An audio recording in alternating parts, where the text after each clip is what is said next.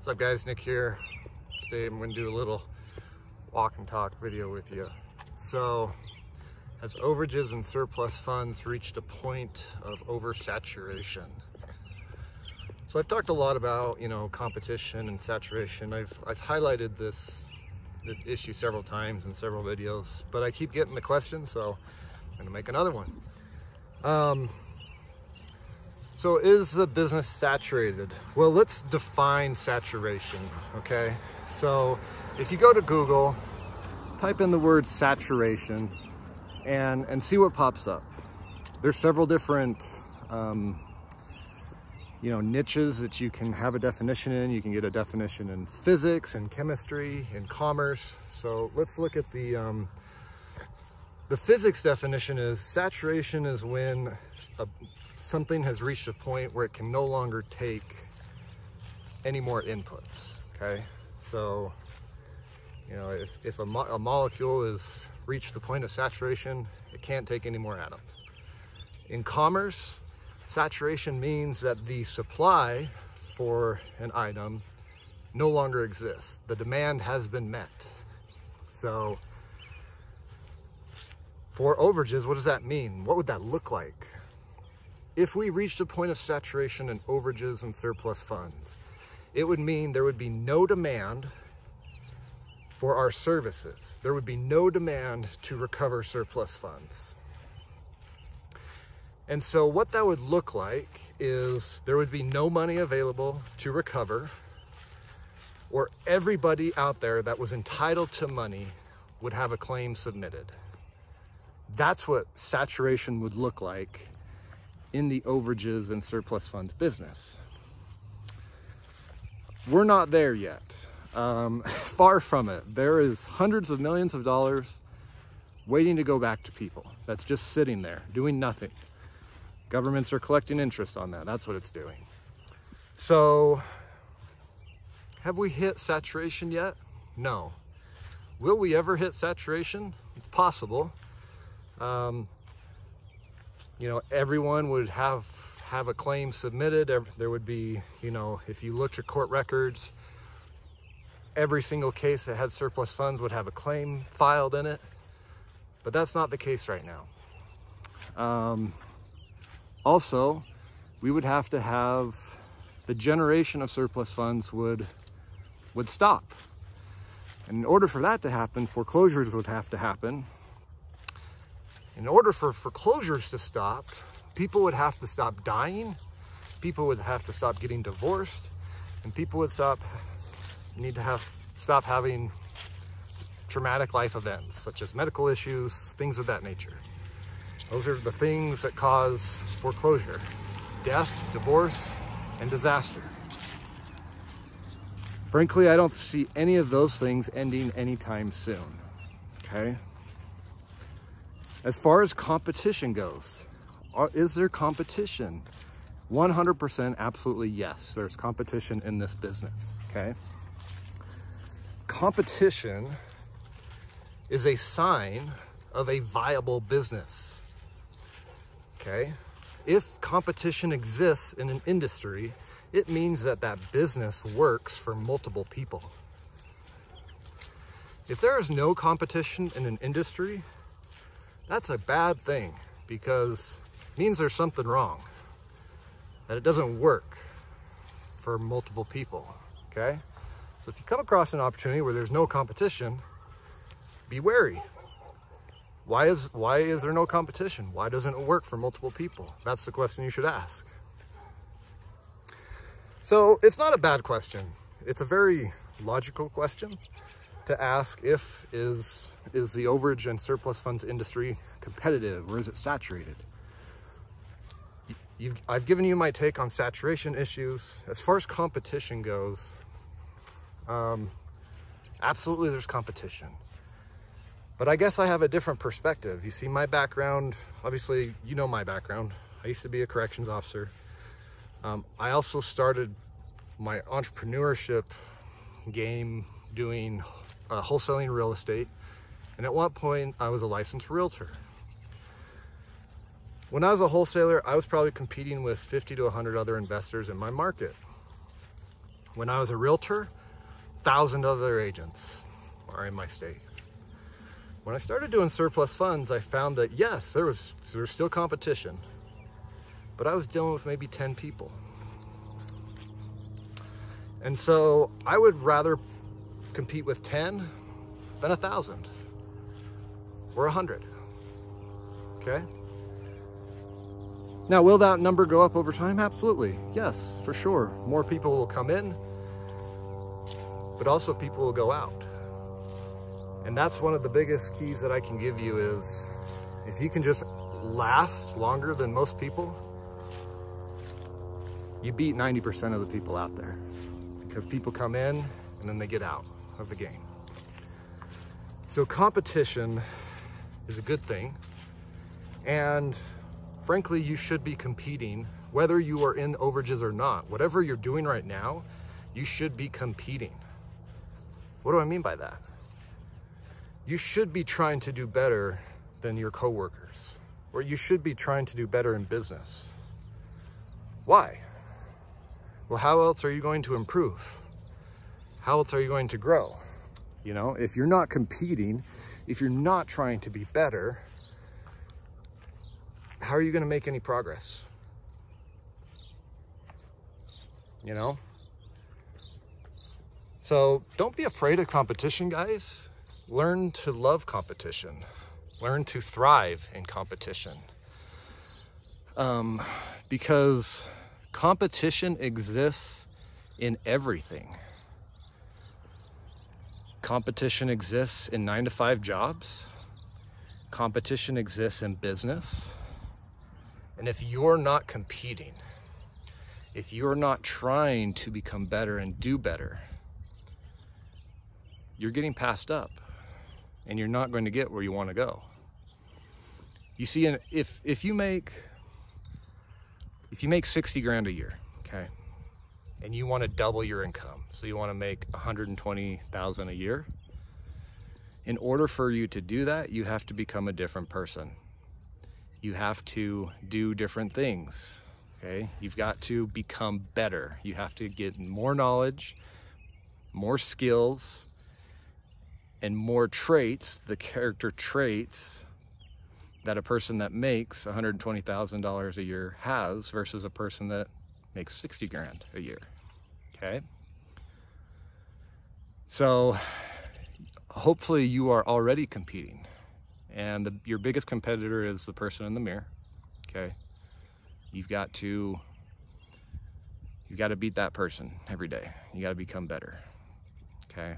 That's the ultimate goal. But as far as the competition overages, surplus funds, 100% yes, it exists. It will always exist, okay? If you're not okay with that, um, you should probably not become a business owner of any sort, is the bottom line. And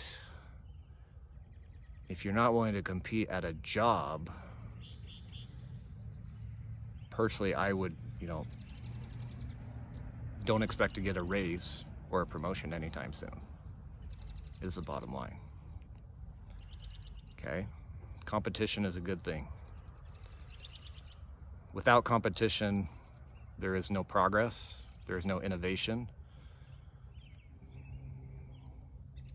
So I think what the real question is, is when someone asks me, is the business competitive or oversaturated? I think what the real question that you're asking is, is the business hard or is it easy to get deals? And the business is hard. 100% the business is hard. takes a lot of patience, takes a lot of consistency, a lot of follow-up. Um, being an entrepreneur is hard. That's that's the the biggest thing between you know working a nine to five and, and being a business owner is if you show up to the nine to five and you just you know if you show up and do the whatever task you need to do you're guaranteed a paycheck being a business owner you could put in 40 hours a week and not get paid for that 40 hours, at least not immediately. And that's, that's absolutely true in the overages business. The work you do today, you will not see the result of until three or four months down the road. Okay? Um, there is no guarantee. You could do lots of work and not see a result. And that's not just specific to overages, that's specific to any business. Okay? And so if, if you're not comfortable with that idea, then now is not a good time for you to get into overages or to get into any sort of entrepreneurship venture. All right? Now, I would not recommend to folks what I did, where I just quit my job cold turkey and, and didn't have an income for five months. I would not recommend that. I'd recommend to both, most folks is start part-time in this business or whatever entrepreneur endeavor you want to embark on. Start out part-time, build it up, and once you've replaced your nine to five job income with your side gig or your side hustle, then you can quit your job. Um, or at least have a good amount of savings so that when you do quit, you're not stressed out about bills, which we did have that, so because we sold our house. Um, so yeah, that's my take guys on, again, I've made many videos on this, but as far as competition and saturation goes. Saturation in the overages, I've mentioned, I don't think we'll ever reach that point. A lot of things would have to come together.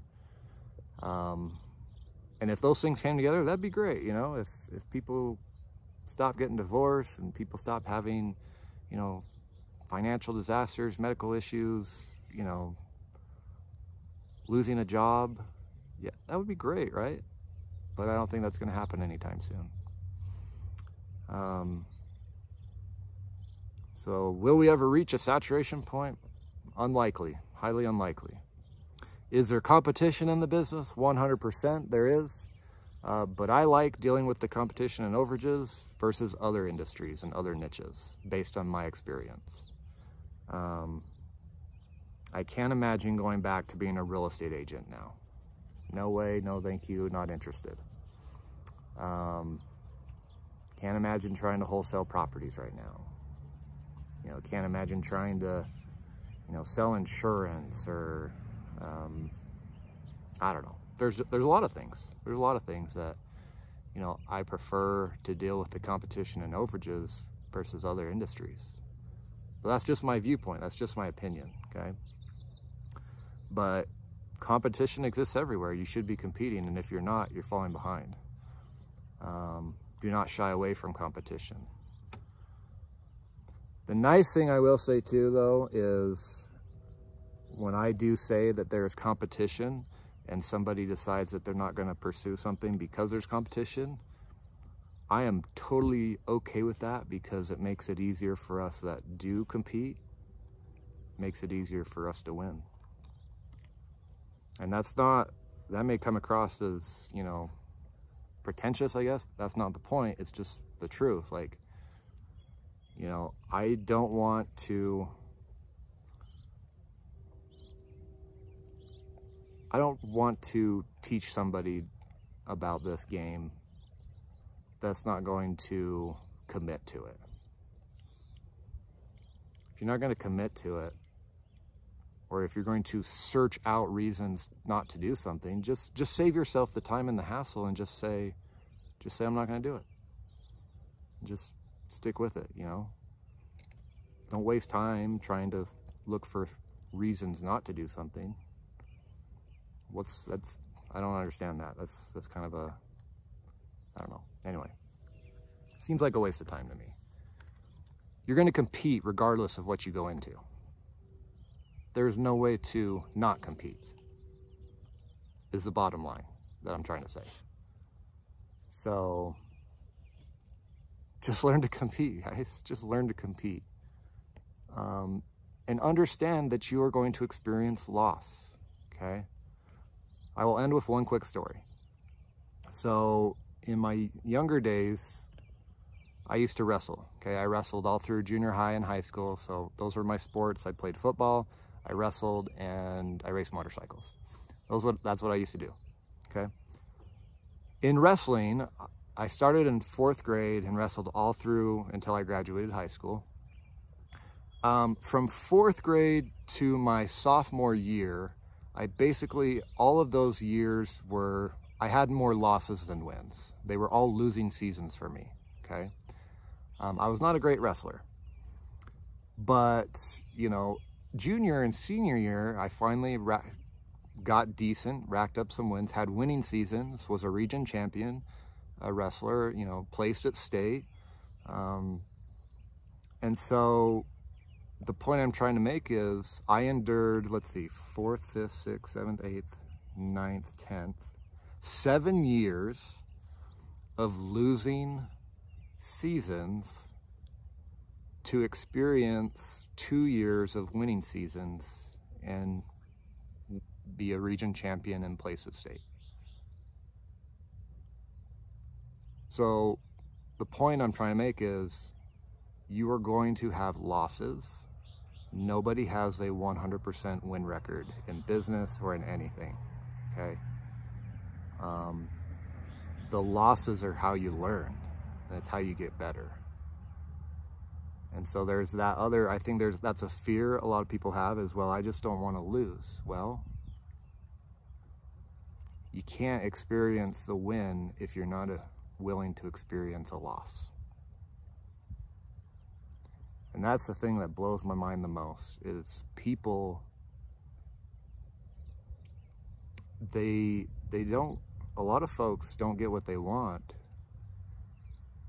because they're never willing to step into the ring and and take on that risk of loss.